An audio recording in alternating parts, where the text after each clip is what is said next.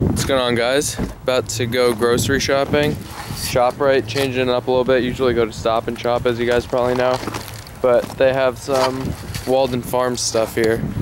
So I figured I'd come here because we're going to Trader Joe's anyway after this, which is like right down the street. It's kind of on the other side of town from where we usually go. So that's the plan for today.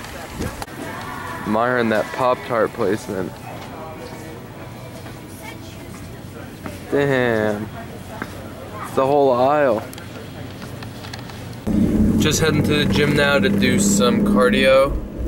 It's about quarter to three. I haven't eaten anything since like 10, 10.30, so I'm feeling a little like sluggish or something, but uh, I really didn't want to eat now and then end up having to wait like another two, three hours to get to the gym. So I think I should be fine. I'm just gonna sip on a Powerade Zero here and it's a high intensity steady state session so I'm just gonna do the treadmill for about 25 minutes. I usually get going get my heart rate up get it going by running at like 11 or 10 or 12 or something for a minute just to get my heart rate into that like 150 160 beats per minute zone and then I'll drop it down to about six or seven probably around seven or so and maintain that for like 25 minutes or so. So it's kind of tough to do this cardio, but it doesn't take that long and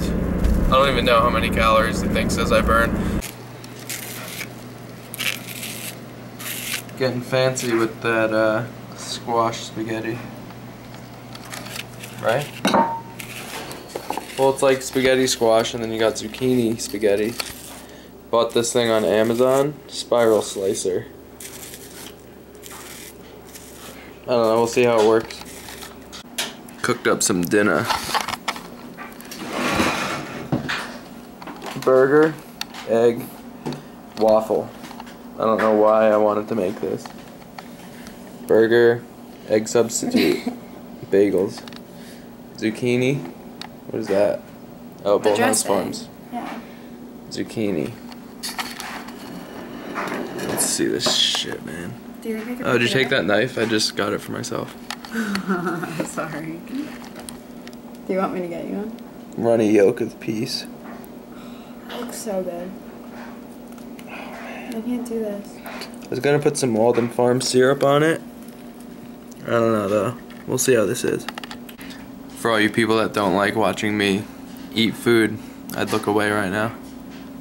A waffle really adds a little bit of sweetness to it. It's really good. Hope you guys try this out. You already know what time it is. Gonna try these out. They didn't have the syrups at ShopRite. Caramel and chocolate dip.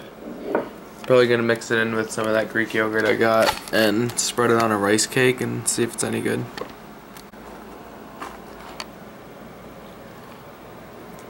Brought our